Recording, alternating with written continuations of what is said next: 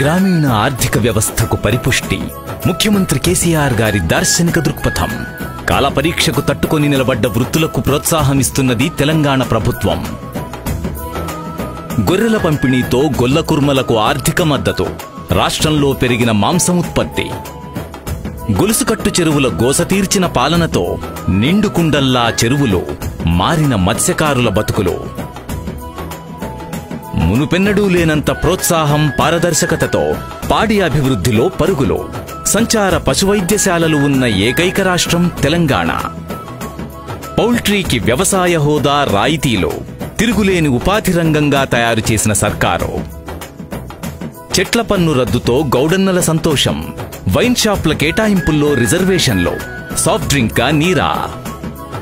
రజకులకు లాండ్రీలు washing మెషీన్లు దోబీఘాట్లతో వెలిసిన బతుకుల్లో కొత్త రంగులు. సంక్షేమానికి కొత్త అర్థం చెబుతున్న పథకాల ప్రాధాన్యత. చేనేతకు చేయూత తరతరాల కష్టాలను ఏకకాలంలో మార్చిన ఘనత నేతన్నల ముఖాల్లో పూసిన చిరునవ్వులు. వెనుకబడిన చేతివృత్తుల కుటుంబాలకు లక్ష రూపాయల ఆర్థిక సాయం. ప్రతి సామాజిక వర్గ జీవితాల్లో సంక్షేమ వెలుగులో. దశాబ్ది తెలంగాణ ప్రగతికాంతులో